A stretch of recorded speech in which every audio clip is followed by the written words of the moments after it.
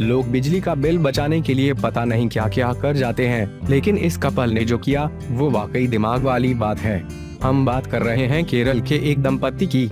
इन्होंने गर्मी से बचने के लिए ऐसा घर तैयार किया है, जिसमें हवा गर्मी से बचने के लिए पंखे और एसी की कोई ज़रूरत नहीं है। दिलचस्प बात यह है कि भले ही बाहर का पारा 45 डिग्री ही क्यों ना हो, लेकिन इन्होंने अपने लिए खास घर तैयार किया है, जहाँ बिना एसी के ही आपको एसी जैसी ठंडी हवा मिलेगी। केरल के कन्नूर ज़िले में हरी और उनकी पत्नी आशा ने यह घर बनाया है जो पूरी तरह प्राकृतिक है। दोनों को ही प्राकृतिक से बेहद लगाव है।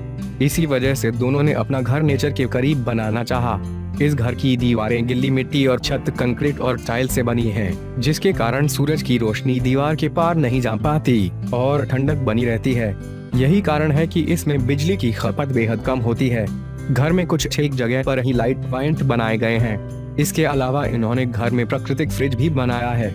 इसके लिए उन्होंने घर में एक गड्ढा खोद कर उसके किनारे किनारे इंट लगाकर बालू रखकर सम्मान को उसके ऊपर रखते हैं। इससे खाना काफ़ी देर तक सुरक्षित रहता है।